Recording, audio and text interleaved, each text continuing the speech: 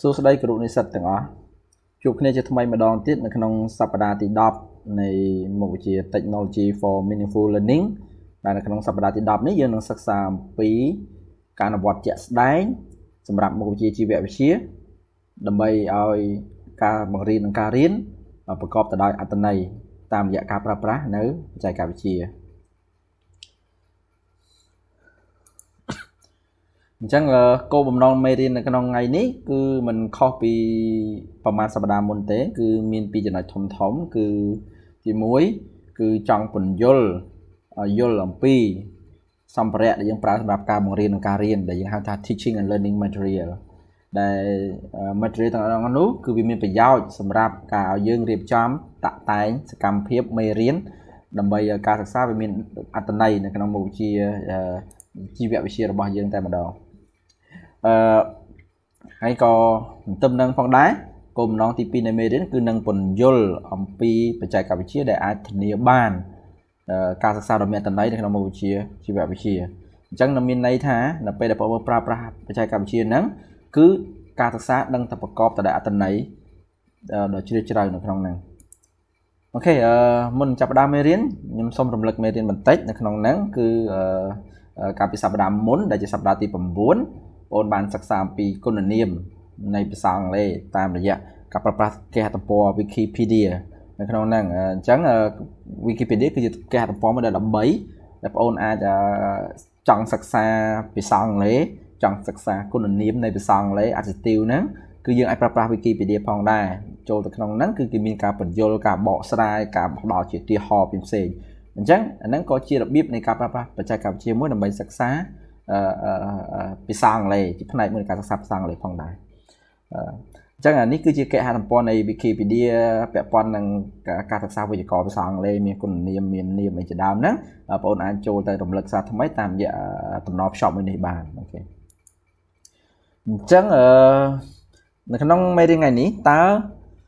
material អ្វីខ្លះឬយើងហៅថាសម្ភារៈសិក្សាអ្វីខ្លះ ដែលវាមានប្រយោជន៍សម្រាប់យើងយកមកតាក់តែងមករចនាមកច្នៃប្រឌិត សកម្មភាពរៀនរបស់យើងឲ្យវាមានអត្ថន័យ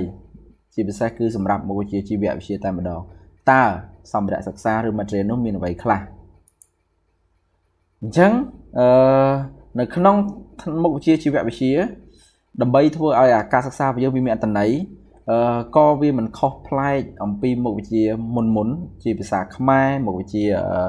ភាសាអង់គ្លេស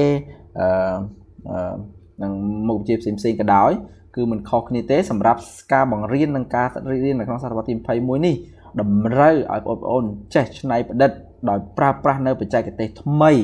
តាមរយៈជ្រើសរើសបច្ចេកវិទ្យា ICT យកមកប្រើប្រាស់នៅតាមមុខវិជ្ជានីមួយៗឲ្យវាមានប្រសិទ្ធភាព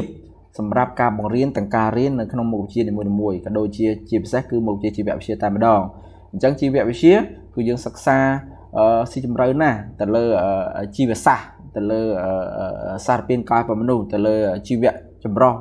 ជីវិតសត្វជីវិតមនុស្សអីជាដើម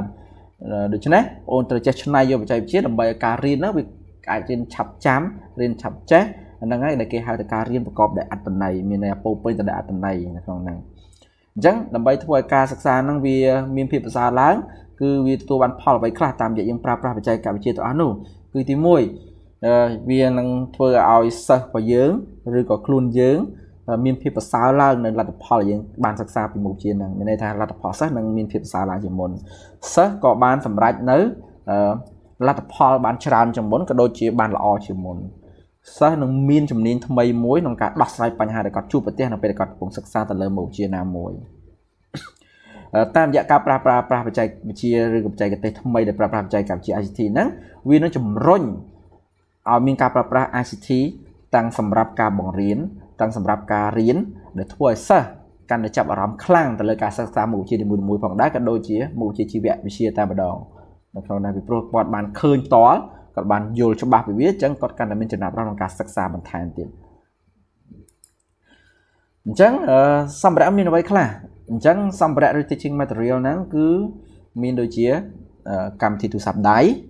មានដូចជាកម្មវិធីនៅលើ computer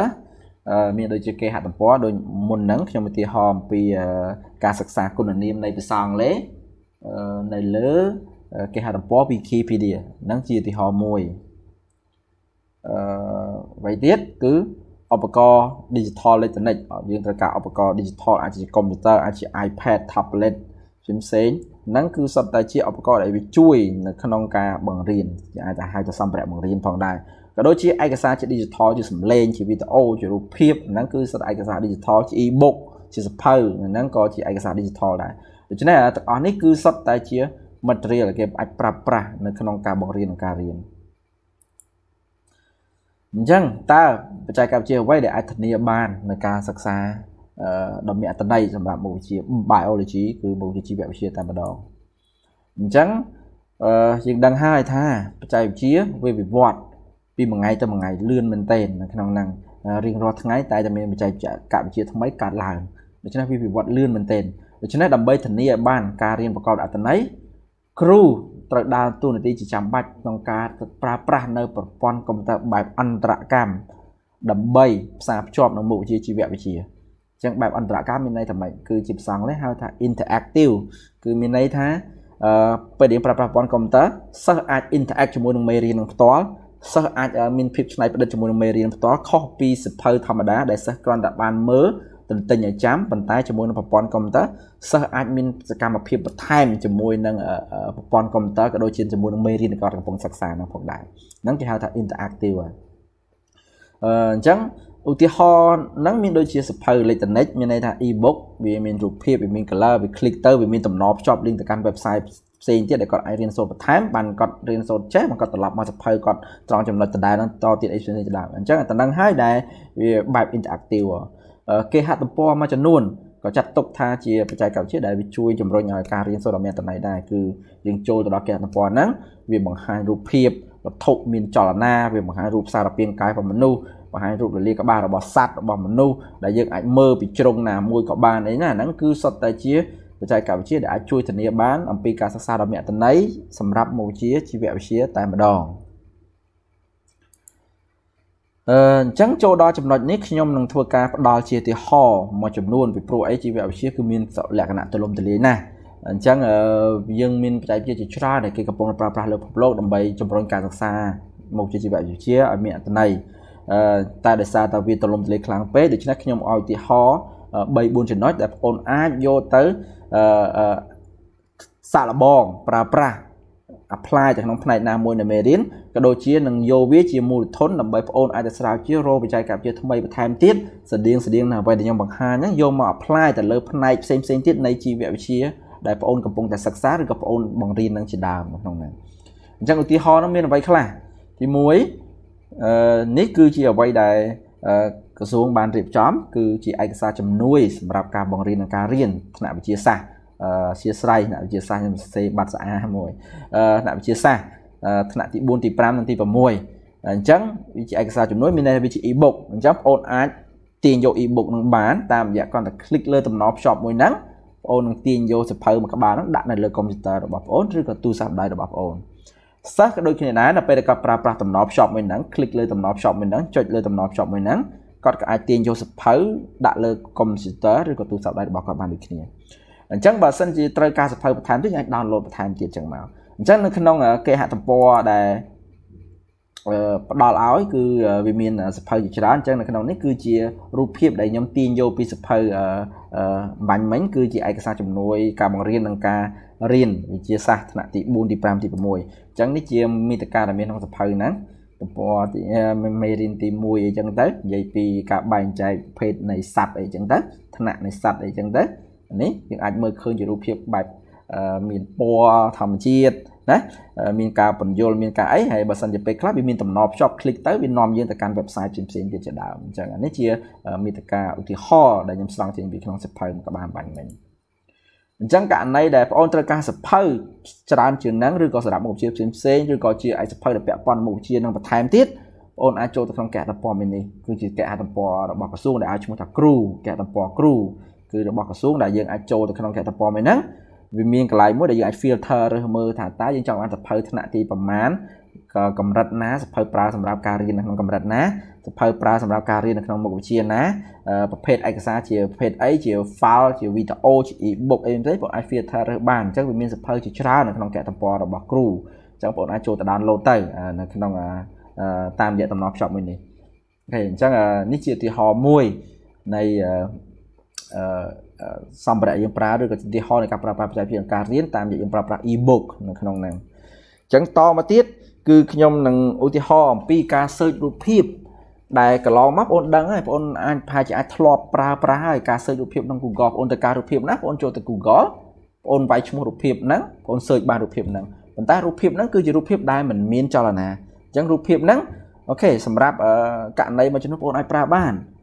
តែ សម្រាប់ការបង្រៀនរបស់បងអូនបងអូនអាចបង្កលក្ខណៈឲ្យវាមានលក្ខណៈបែបរស់រវើកនៅក្នុងថ្នាក់រៀនតាមរយៈបងប្អូនអាច search បានរូបភាពជាលក្ខណៈបែប 3D វាកាន់តែធ្វើឲ្យការបង្រៀនរបស់បងប្អូននិងការរៀនរបស់បងប្អូនកាន់តែមានភាពរស់រវើកអញ្ចឹងមានន័យថាសិស្សគាត់អាចមានភាពរស់រវើកជាមួយនឹងមេរៀននៅក្នុងថ្ងៃហ្នឹងវាធ្វើឲ្យគាត់រៀនទៅវាឆាប់ចាំរៀនឆាប់ចូលឆាប់យល់ឆាប់ចេះសម្រាប់កុមារជាដើមបើសិនជាគាត់ចង់ស្វែងយល់ពីសត្វគាត់នៅក្មេងដូច្នេះគាត់មិនតន់អាចទៅស្គាល់រូបសត្វបានច្បាស់លាស់ដូចយើងជាមនុស្សធំទេ ប៉ុន្តែតាមរយៈរូបភាពបែបទម្រង់ 3D គាត់អាចយល់អំពីលក្ខណៈរបស់សត្វអូសត្វហ្នឹងមានជើង4វាមានកញ្ចក់ចំនួន1 2 3 4 5សត្វខ្លះមានកញ្ចក់តែ4ទេសត្វខ្លះមានកញ្ចក់តែ3ទេគាត់អាចស្វែងយល់ពិតប្រាកដបានតាមរយៈវារូបភាពបង្ហាញជាលក្ខណៈ 3D ប៉ុន្តែបើរូបភាពជាលក្ខណៈដែលមិន 3D អត់មានចលនាគាត់អាចឃើញតែជ្រុងណាដែលគេថតឲ្យឃើញតែប៉ុណ្្នឹងហើយអញ្ចឹងពេលខ្លះគាត់ពិបាកនៅក្នុងការស្វែងយល់ស៊ីជម្រៅអំពីសត្វមួយហ្នឹងអញ្ចឹងអឺសាមញ្ញទេគឺការ រូបភាពបែប CD យើងអាច search បានតាមរយៈប្រើប្រាស់ Google search ដូចរមួយដងដូចសពមួយដងដែលបងប្អូនធ្លាប់ប្រើប្រាស់ search រូបភាពប៉ុន្តែ Google ទើបតែបញ្ចូលមុខងារថ្មីហ្នឹងដែលបងប្អូនអាចប្រើប្រាស់ Google search ដើម្បី search រករូបភាពបែប 3D ហ្នឹងបានអញ្ចឹងគឺវាមានតម្រងបែបចេះទី1គឺបងប្អូនអាច search រូបភាពសត្វណាមួយវាបង្ហាញជាតម្រងបែបចេះបងប្អូនអាចប្រវល់ឆ្វេងប្រវល់ស្ដាំអឺបន្ទាប់មកបើសិនជាទូរស័ព្ទដៃរបស់បងប្អូនហ្នឹង support មុខងារ AR តមុខទៀតខ្ញុំនឹងបញ្យល់អំពីពាក្យ AR បើសិនជាទូរស័ព្ទដៃ support មុខងារ AR បងអូនអាចយករូបភាព 3D ហ្នឹងមកដាក់នៅលើមជ្ឈដ្ឋានពិតប្រាកដរបស់បងអូនមានដាក់នៅក្នុងថ្នាក់រៀនដាក់ក្នុងបរិវេណដែលបងអូនកំពុងតែឈរដាក់នៅក្នុងថ្នាក់រៀនរបស់បងអូនដាក់នៅក្នុងផ្ទះរបស់បងអូនដាក់ក្នុងបន្ទប់របស់បងអូនបានភ្លាមភ្លាមអញ្ចឹងបងអូនអាចដើរធ្វើការ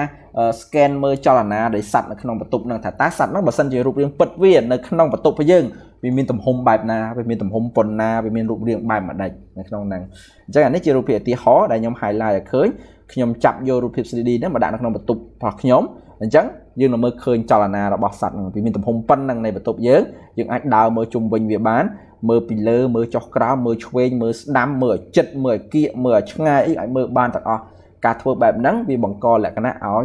សិស្សរបស់ប្អូនក៏ដូចជាប្អូនឬក៏ដូចជាមេរៀននៅក្នុងថ្ងៃហ្នឹងវាមានភាពរស់រវើកនៅក្នុងហ្នឹង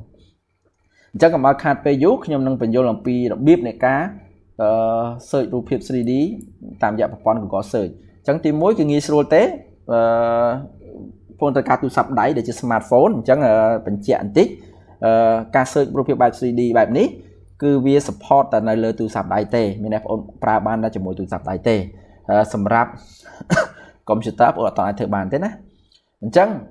ជំហានទី1បងប្អូនត្រូវបើកកម្មវិធី Google Chrome នៅលើទូរស័ព្ទដៃសិនជាមុនសិន បន្ទាប់មកចូលទៅកាន់ website មួយឈ្មោះថា google.com ដោយតែបងអូន search រូបភាពធម្មតាទេបន្ទាប់មកនៅក្នុងប្រអប់ search បងអូនគាត់ទៅវាយពាក្យថា tiger ពាក្យ snake ពាក្យ parrot ពាក្យ bird ពាក្យ dog អីផ្សេងៗជាដើមបងអូនគាត់ទៅវាយឈ្មោះសត្វណាមួយពេលហ្នឹងវាបង្ហាញលទ្ធផលជារូបភាពបែប 3D បន្ទាប់មកបងអូនចុចលើពាក្យថា view in 3D បងអូននឹងឃើញរូបភាពបែប 3D បែបនេះបញ្ជាក់បើសិនជាឃើញរូបភាព 3D បែបនេះហើយ បងឃើញបតង់នេះគឺមានន័យថាទូរស័ព្ទដៃរបស់បងគឺ support មុខងារ AR ដែលបងអាចយករូបភាព CD ហ្នឹងមកដាក់នៅលើបន្ទប់របស់បងដាក់លើថ្នាក់រៀនរបស់បងដាក់លើមជ្ឈដ្ឋានពិតប្រកបទីតាំងរបស់បងពិតប្រកបតែម្ដងប៉ុន្តែបើសិនជាបងមើល 3D ហើយមិនឃើញមានបតង់ view in your space ដូចនេះទេមានន័យថាទូរស័ព្ទដៃរបស់បងមិន support មុខងារហ្នឹងទេគឺ support បានត្រឹមតែមើល CD លើទូរស័ព្ទដៃមិនអាចយកវាដាក់នៅលើបន្ទប់បានទេ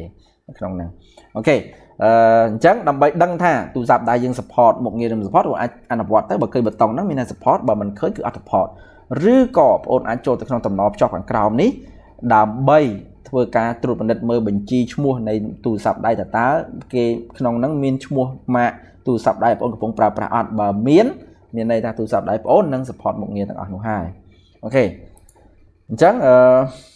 អឺតាមពិតនេះគឺជាវីដេអូ របៀបនៃការអនុវត្តប៉ុន្តែខ្ញុំជឿជាក់ថាបងអូនប្រហែលជាបានមើលវីដេអូហ្នឹងមុនពេលដែលមើលវីដេអូបង្រៀនមួយនេះបងបានមើលវីដេអូហ្នឹងហើយព្រោះដោយសារតែខ្ញុំបានផ្ញើមេរៀនឲ្យមុនបងអាចមើលវីដេអូដែលនៅក្នុងហ្នឹងឬក៏ដល់ពេលដែលបងអូនបើក slide បង្រៀនមកដល់ slide មួយនេះបងអូនគ្រាន់តែចុចទៅលើប៊ូតុងរូប YouTube នេះទៅ បងអូននឹង play វីដេអូហ្នឹងតែម្ដងបងអូននឹងមើលវីដេអូរបៀបនៃអនុវត្តហ្នឹងតែម្ដងអញ្ចឹងកុំឲ្យខាត់ពេលខ្ញុំមិនខ្ញុំនឹងមិនបង្ហាញការអនុវត្តនៃការ search ម្ដងទៀតទេសង្ឃឹមថាបងប្អូននឹងចុចមកដល់ slide មួយហ្នឹងបងអូនចុចទៅលើប៊ូតុងក្រហមមួយនេះទៅបងអូននឹងអាច play វីដេអូនៅលើទូរស័ព្ទដៃបងអូនផ្ទាល់បានអញ្ចឹងកុំឲ្យវាខាត់ពេកខ្ញុំមិនចាំបាច់ធ្វើការបង្ហាញម្ដងទៀតទេណាអូខេអញ្ចឹងខ្ញុំសុំបន្តទៅមុខនៅក្នុងហ្នឹងអូខេអញ្ចឹង បន្តទៅមុខទៀតគឺយើងនឹងនិយាយអំពី augmented reality app គឺកម្មវិធីមួយដែលគេឲ្យឈ្មោះថាជាកាត់ខ្លីគឺ AR augmented reality គឺសំដៅលើបច្ចេកវិទ្យាមួយដែលគេយករូបភាពណាមួយបែបសិប្បនិម្មិតណាមួយដែលវាមានទម្រង់បែប 3D យកមកដាក់នៅក្នុងមជ្ឈដ្ឋានពិតដូចមិញអញ្ចឹងតែពិតរូបខ្លាមិនជារូបសិប្បនិម្មិតទេ ប៉ុន្តែយើងអាចចាប់យករូបនិមិត្តមកដាក់នៅលើទីតាំងពិតប្រាកដរបស់យើងមួយអញ្ចឹងហ្នឹងគេហៅថាបច្ចេកវិទ្យា AR នៅក្នុងហ្នឹងណាអូខេអញ្ចឹង AR ហ្នឹងជាបច្ចេកវិទ្យាមួយដែលពេញនិយមរងថ្ងៃគឺគេបង្កើត AR ឬក៏គេបង្កើតកម្មវិធីបែប AR ជាច្រើនប្រើប្រាស់សម្រាប់សង្គ្រប់វិស័យគ្រប់សង្គ្រប់ការងារមានដូចជាគេយកវាទៅផ្សាយពាណិជ្ជកម្មគេយកវាទៅសម្រាប់ការរៀនដោយការរៀនរបស់យើងនេះអញ្ចឹងគឺយើងសិក្សាមកវិជ្ជាជីវវិទ្យាយើងត្រូវការរូបភាពពិតណា យើងត្រូវការរូបភាពដែលយើងអាចចុច zoom in zoom out ចូលទៅមើលគ្រឿងក្នុងរបស់មនុស្សចូលទៅមើលផ្នែកណានៃឆ្អឹងខ្នងរបស់មនុស្សយើងត្រូវការកម្មវិធីទាំងអស់ហ្នឹងអញ្ចឹងសម្រាប់អប់រំគឺត្រូវការ AR ជាចាំបាច់គេយកទៅធ្វើការស្រាវជ្រាវមុនមុននឹងគេស្រាវជ្រាវវះកាត់មនុស្សឬក៏គេសិក្សាពីអ្វីមួយស្រាវជ្រាវពីមួយគេត្រូវប្រើកម្មវិធី AR ពីព្រោះគេពិបាករកវត្ថុពិតដើម្បីមកស្រាវជ្រាវអញ្ចឹងគេសិក្សាទៅលើកម្មវិធីដែលប្រើ AR ជាមុនសិនមុននឹងគេឈានទៅដល់សិក្សាទៅលើវត្ថុពិតជាដើម គេប្រើវានៅក្នុងបន្ទប់ពិសោធន៍អញ្ចឹងអញ្ចឹងវាមានច្រើនជានឹងលាក់នឹងលាក់ជាដើម AR គឺពេញនិយមសប្តាហ៍ថ្ងៃអឺចូលមកដល់ចំណុចនេះខ្ញុំបានផ្ដល់ជាឧទាហរណ៍នៃកម្មវិធី AR អឺនៅលើទូរស័ព្ទដៃមួយចំនួនដែលបងអូនអាចសិក្សាពី anatomy គឺនិយាយអំពី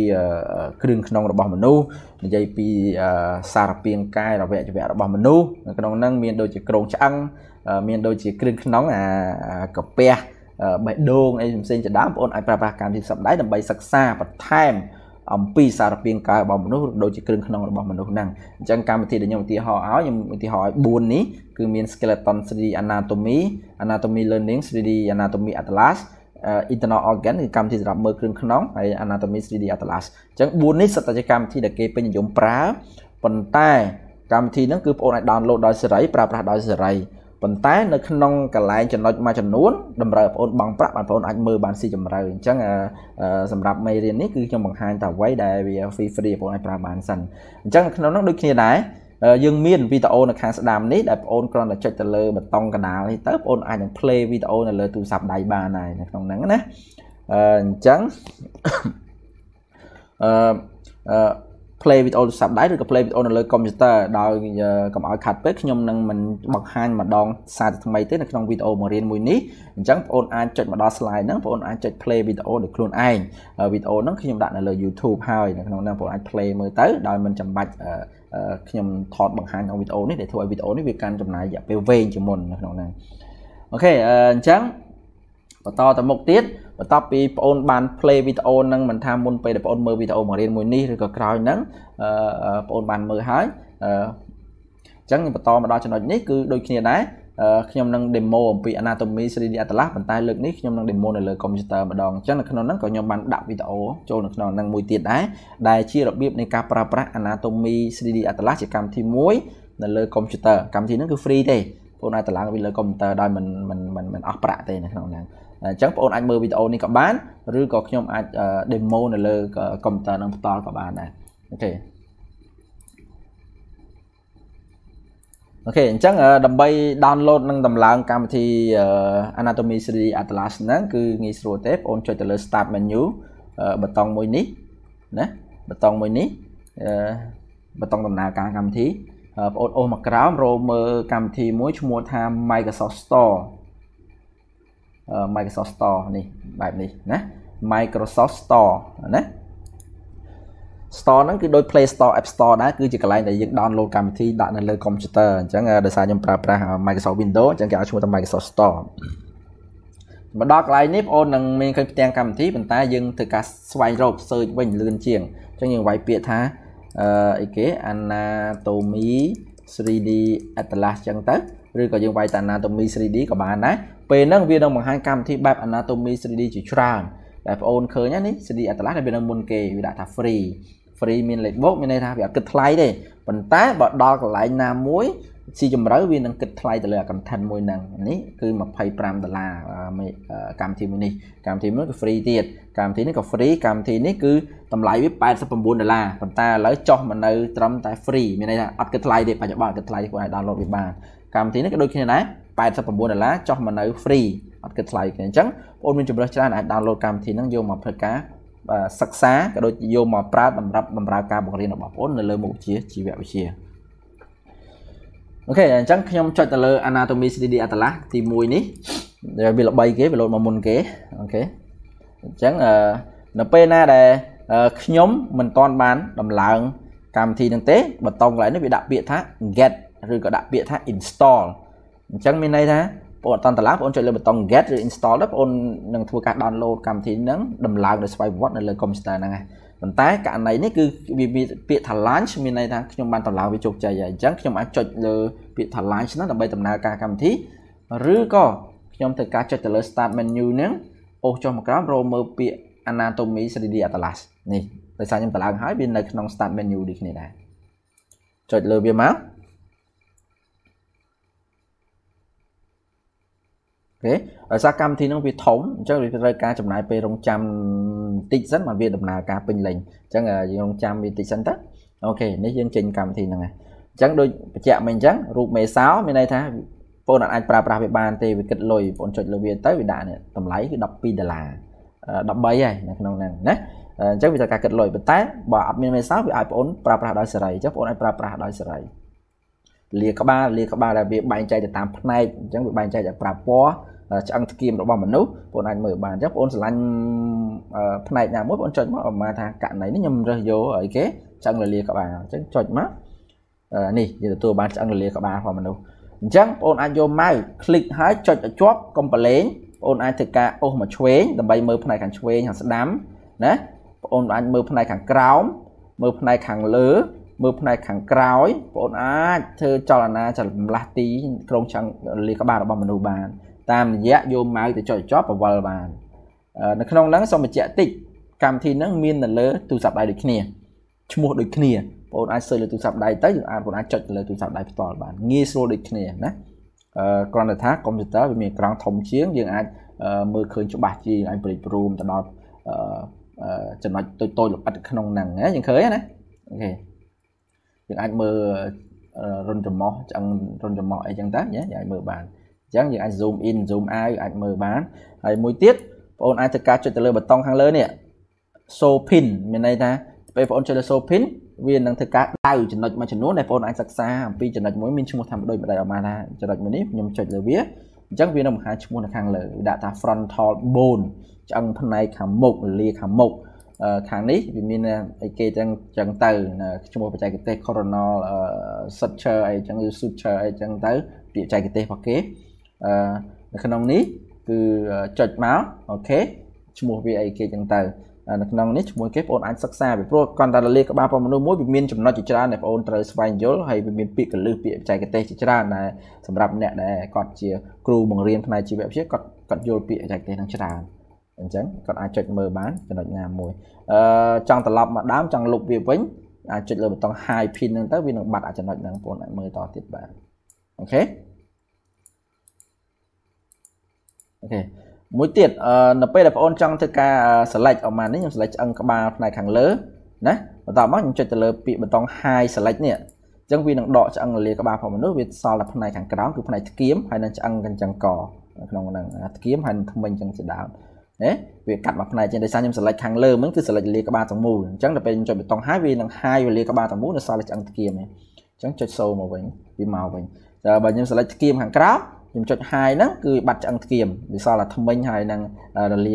ក្បាលអីចឹងទៅខ្ញុំចុចថ្មិញមួយទៀតអឺម្ដងមួយម្ដងមួយក៏បានណាហើយយើងធ្វើការ high វានឹងបាត់ថ្មិញមកក្របហ្នឹងណាបែបហ្នឹងចឹងទៅអូខេ ចឹងយើងចង់បង្ហាញមកវិញយើងចុចប៊ូតុង show all ចឹងមកអូខេចឹងនឹងគឺជាការប្រើប្រាស់មួយចំនួននៃកម្មវិធី Atlas អឺបន្ថែមទៀតបើបងអូនអូសត្រឡប់ back មកក្រោយវិញបងអូននឹងអូសមកក្រោយបងអូននឹងឃើញមានអ្វីដែលបងអាចប្រើប្រាស់ទៀតឧទាហរណ៍ថាឆ្អឹងលាក្បាលភ្ជាប់ជាមួយនឹងសរសៃអឺឆ្អឹងរលាក្បាលភ្ជាប់មួយសរសៃដូចនេះអញ្ចឹងបងប្អូនមានជំរើសអាចចុចបានរើសមក free ដែរប៉ុន្តែផ្សេងផ្សេងទៀតវាគិតលុយណាក្នុងហ្នឹងអញ្ចឹងដូចគ្នាដែរចុចមកនេះអញ្ចឹងរលាក្បាលរបស់មនុស្សនៅក្នុងហ្នឹងក៏វាមានប្រកបទៅនឹងសរសៃជាច្រើនដែលវាផ្សារភ្ជាប់មួយរលាក្បាលរបស់មនុស្សដែរនៅក្នុងហ្នឹងអញ្ចឹងយើងអាចមើលថាតើសរសៃអ្វីខ្លះដែលវារត់មកផ្នែកខាងក្បាលរបស់មនុស្សយើងអាចមើលបានយើងអាចចុចទៅលើសរសៃមួយហ្នឹងយើងអាចធ្វើការលាក់ដកសរសៃចេញដើម្បីមើលទៅតើអូខេសរសៃហ្នឹងតមកពីតាណាផ្នែកណាណាចុចបែបនេះយើងអាចហាយវា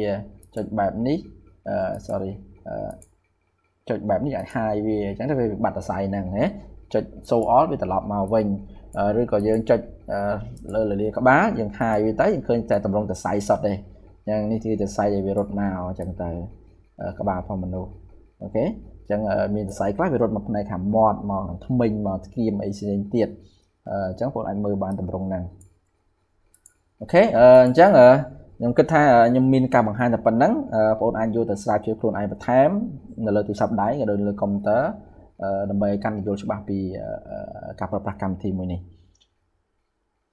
okay ដើម្បីបិទបងប្អូនគ្រាន់តែអូស mouse ឡើងទៅលើ iPod មកយើងបងប្អូនឃើញប៊ូតុងខ្វែងបងប្អូនចុចខ្វែងមកដើម្បីបិទវាអញ្ចឹងត្រឡប់មកមេរៀនយើងវិញអញ្ចឹងសរុបមកវិញសុំចាំបន្តិច